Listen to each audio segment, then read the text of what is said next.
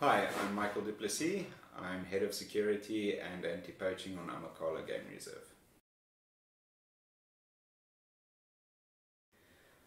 I'd say most important, please stay safe out there. Um, recently there have been rangers or in the past years there have been many rangers that have lost their life in the pursuit of conservation and protecting our wildlife. So please stay safe out there thank you very much for all your hard work.